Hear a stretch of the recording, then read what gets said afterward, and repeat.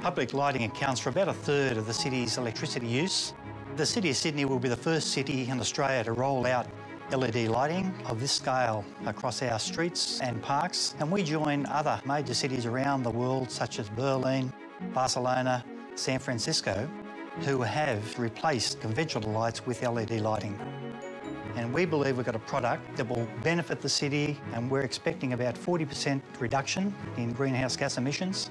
We're reducing emissions by nearly 3,000 tonne a year, and also significant benefits for the, for the ratepayer as well. We expect to have savings of about $800,000 a year through the implementation of LED lighting.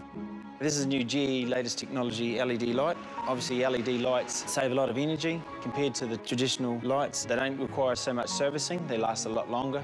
LED technology will transform lighting as we know it, saving up to 75% energy compared to the incandescent light. With this project, we plan to achieve two major goals. One is reduction in energy consumption, and secondly, to reduce the maintenance of the light fittings. This will have a profound impact on how we think about lighting in the future. One of my major responsibility is lighting design. Basically, I get, I get a drawing from council and then import that drawing into a lighting program and do the lighting calculations.